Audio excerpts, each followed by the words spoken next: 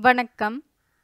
மா செந்தமிழன் அவர்கள் எழுதிய உணவு நூல் எனும் நூலிலிருந்து இன்றைய செம்மை மொழி. நீர் மிகுதியான உடல் அதாவது கபம் அதிகமான உடல் உப்பியும் கை கால்கள் வீங்கியும் காணப்படும். நீர் மிகுந்த உடல் இயற்கையான உடலுக்கு பொருந்தும் தன்மை இல்லாமல் அதிகமான அளவில் உயிரணுக்கள் பெருகுவதாக இருக்கும்.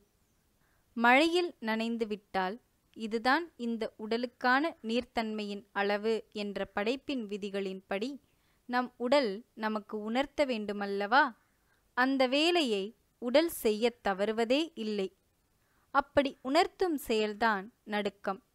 நடுக்கம் நமக்கு உணர்த்துவது நம் உடல் குளிர்ச்சியை இனி தாங்காது வெப்பத்தை நாடி செல்ல வேண்டும் என்பதுதான். குளிர் எடுத்தவுடன் உடலை துவட்டிக் கொள்கிறோம் வெப்பத்தில் கை கால்களை சூடுபடுத்துகிறோம். அப்போது பெருகிக் கொண்டுள்ள நுண்ணுயிரிகளின் செயல்பாடு மட்டுப்படுகின்றது.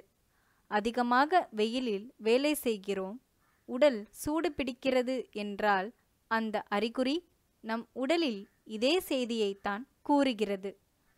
அதாவது நீ நீரை வற்றச் செய்கிறாய்.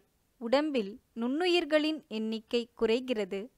இந்த சூழ்நிலை தொடர்ந்தால் உயிரினங்களின் எண்ணிக்கை குறைகின்றது. நீ நீ என்பது தனிப்பட்ட உடலல்ல. நீ என்று எதை கருதுகிறாயோ அது பல கோடி நுண்ணுயிர்களின் தொகுப்பு. அந்த உயிரினங்களுக்கு அழிவு நேர்ந்தால் நீயும் அழிவாய். எனவே அந்த உயிரினங்களுக்கு பாதுகாப்பு அளிக்க வேண்டுமெனில் இதற்கு மேல் வெயிலில் அலையாதே என்று உணர்த்தப்படுகிறது.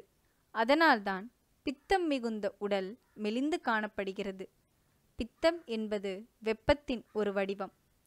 பித்தம் மிகுந்த உடலில் உயிர் அணுக்களின் வளர்ச்சி குறைவாகவே உள்ளது. மிகையான வெப்பத்தில் உயிர் அணுக்களின் வளர்ச்சி சிதைவுக்குள்ளாகிறது.